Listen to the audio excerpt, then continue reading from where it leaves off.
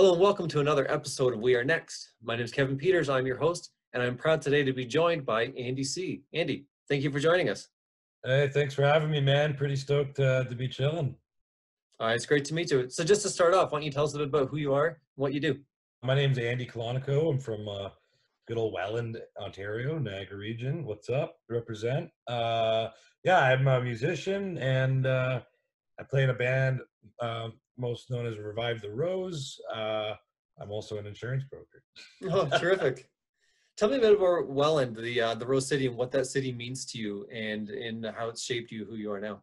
Great community, great people, and uh, I think that really shaped me. And it, it's very musically uh, filled, so uh, like lots of arts going on down in Welland. So uh, I was always just kind of uh, filled with that too. So um, it all kind of sandwiched together to make uh, this guy. So love Welland. Let's talk a bit more about your career as a musician. Are you guys signed to a label, or are you independently financing your project? So yeah, great question. At, the moment, we are uh, technically unsigned to the world, but we have uh, we have created our own record label. Not per se to take on us. We we put out our last album under it, uh, but more so um, just because we've we've had such a successful um, I guess career independently right now uh, as an up and coming independent band. Um, I, have done a lot of hustling to make a lot of the things happen with the boys, and uh, we we've been lucky to have some people help us out. But there's been times before you know we kind of gained more traction where we were kind of on our own in this industry, and like I didn't know what to do. Like I had to we had we kind of had to figure it out ourselves, and I and I and there's a lot of talent I see out there, man, that like they got the talent, but they don't really like structure it with a full game plan and business side of things. You know what I mean? And and they don't really see things that maybe the outside people see in them. You know what I mean? So that's why we kind of made our own label to start giving back to the community as we grow as a band. So we kind of pour our assets into this label, and yeah, it's it's great, man. So right now we're uh, we're working on um, expanding the Revive the Rose family. But when it comes to Snare Guy Records, which is our label, uh, we're, we're, we're doing that to take in uh, maybe acts that aren't really kind of at the level even we're at, and we're still at a low level, but we're kind of helping them kind of establish themselves. So that's that's why that label exists. I mean, everybody needs a helping hand, so that's terrific if you're able to do to do that. Because I'd consider you still fairly early in your career, but if you're already seeing yourself as a, as a mentor, there's some significant value in that. Oh, thanks, man. I'm, I'm trying my best. Uh, and you know, if I hear something good, I want to make sure that other people are hearing that too, because like it's it's awesome. uh, with the availability of technology, any one of us can record music in our basement by ourselves. Is there still a place for a bunch of friends rocking out in their garage, or has the industry switched to highly produced individuals making music? Something that's really crucial to revive the roses image is our chemistry as best friends you know and and putting all of our musical influences together because we're very different dudes man. Like we're very similar but like you know we all uh, uh genre wise come from very different backgrounds um and that's kind of what makes revive the rose really special i'd like to think. So um if if you really want to fine tune uh, the, the, a particular sound you're looking for, definitely gathering and, and making it happen, jamming wise, super important. And something I've learned this year as well is co-writing is actually something that artists should really look into with the right people. Um, we had the opportunity to, um, you know, we we record our demos, we do our part of the bargain, right, as a band, you know, trying to develop a song. But sometimes it just takes an outside brain to hear something too. So uh, we've been very fortunate to work with uh, John Angus MacDonald from the Trews. He produced our uh, uh three songs we recorded just with him in February before the apocalypse. So um, yeah, and, and and I would have never imagined these songs sounding like how they do now. Like it's crazy, man. So I think they both kind of come hand in hand. You kind of need to like make your own vibe because that's the originality to it, and then you kind of need maybe uh, someone else that that is also kind of like vibing with what you're doing to kind of help you maybe condense it a little and maybe uh, move some parts around you know well you kind of segued into what my next question was i'd like to hear more about distribution how do you actually get your music out there? If you're able to record something, it's great, but how do you get people to hear it? Um, one definitely hustle it. Uh, that's that's the one.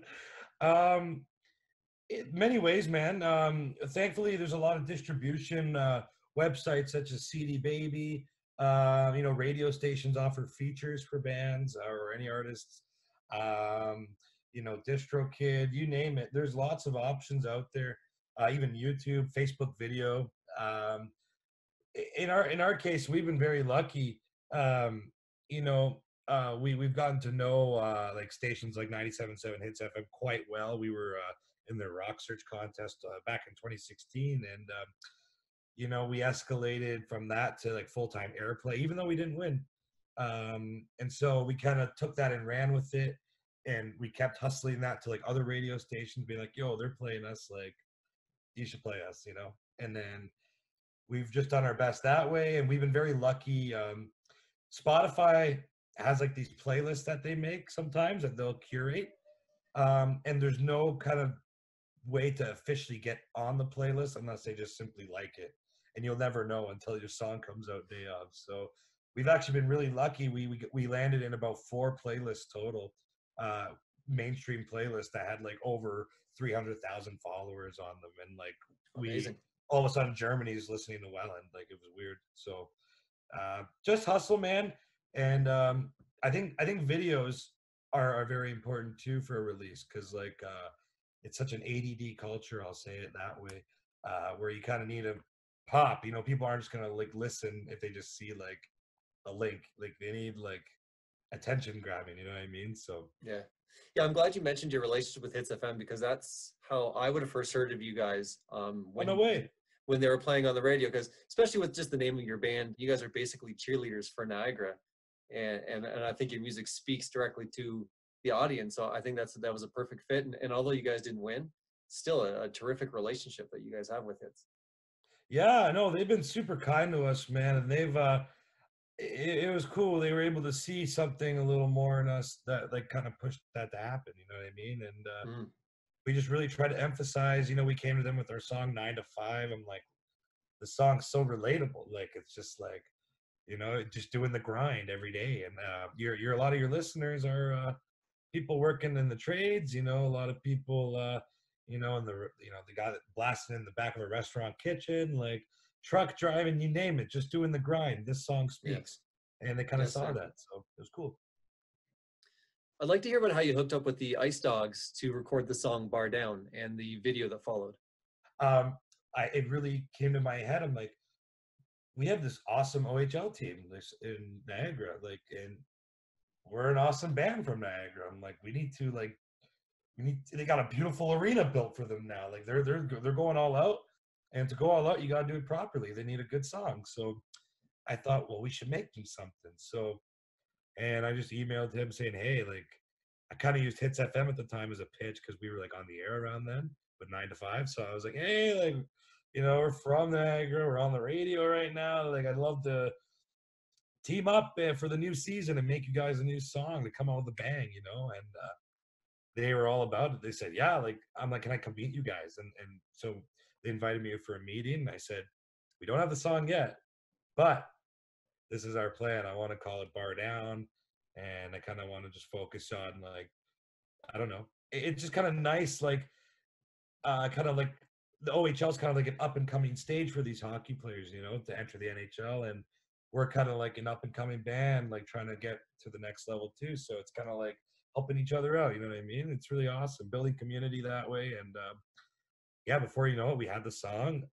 We sent it to them like maybe two weeks before the season even started. The stars aligned, man, and before you knew it, as soon as um, right, we, we dropped a single before Bar Down. It was Moxie, which is what 102.1's uh, Alan Cross uh, shared right off the hop.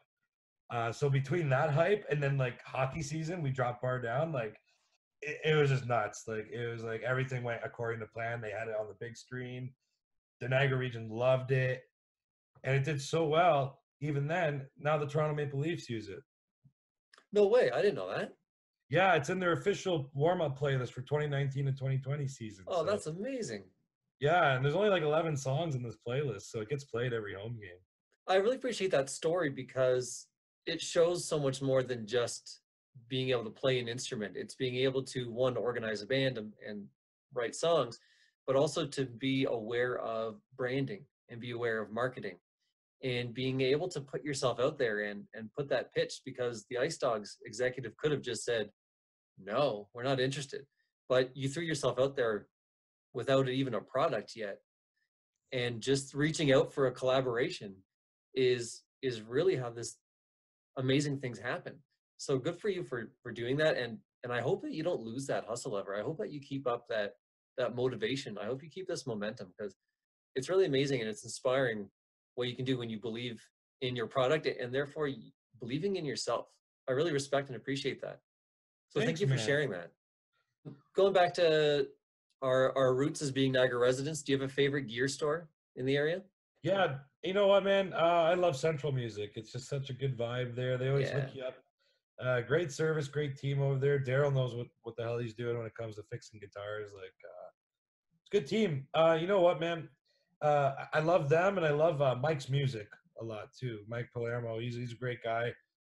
yeah so we got central music on east main and welland and we got mike's music in thorold on pine street Yeah, that's yeah, that's right.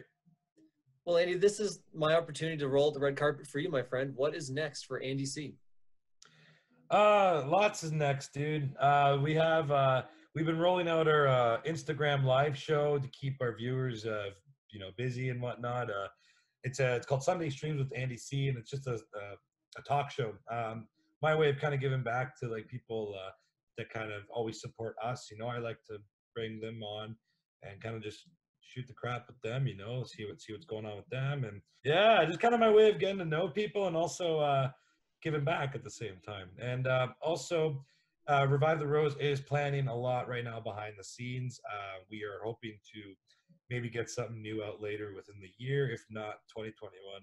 that wraps up another episode of We Are Next. Again, I'm your host, Kevan Peters, and I just want to thank you, Andy C., for being with us today. If you'd like to nominate somebody or yourself to be on a future episode, please tag yourself in the comments below. And other than that, make sure you check out Revive the Rose. Andy, thanks again. It was great to meet you. Hey, thanks for having me on, man. Great pleasure uh, talking to you. And uh, yeah, stay safe, my friend.